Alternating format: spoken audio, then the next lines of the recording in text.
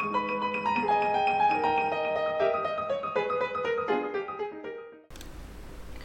guys, welcome back to my channel and today I will show you okay I'm going to use my standard voice okay not not made up voice okay so today I will show you how to print hello world.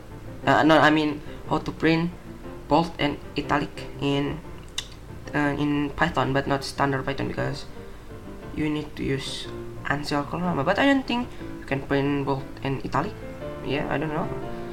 But what I'm going to try is in this console okay? Not in this console but this console.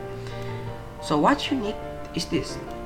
First first let me delete this because it sucks and then what you need is call print function. And then of course we should use hello world because that's just the standard the standard way to create a program but actually it's not a program it's just a text. Okay so first you can do you can do it by, by what, what by using bold is equal to true. If you run this you will get this. Hello world. Okay let me tell you you can use this by changing the bold into italic. See it's italic. But no you can do it. Both. No not not bold but bold you can do it both bold and italic. Set this to true not to true. You will get what?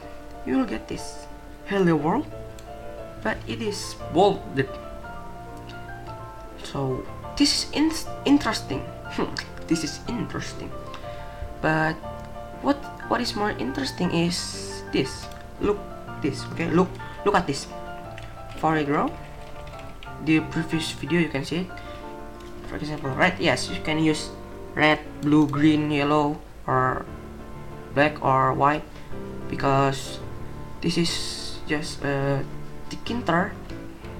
Using a uh, TK I don't know how you spell it but I don't know how we spell it but I don't care just because you know. Okay. What okay okay okay. Okay I, I up okay so you can use foreground. Is this red or whatever? Because this is red foreground and background. Background is for example green. No I don't want green uh, red. No no no. It, that sucks. Blue. Okay so this is blue. And run it. And you can see here. This is right bolded and italic okay?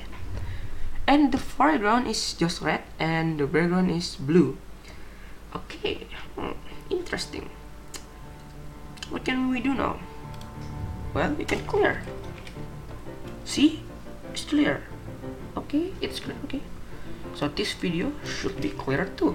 Okay so thank you guys for watching. I hope i see you again. Goodbye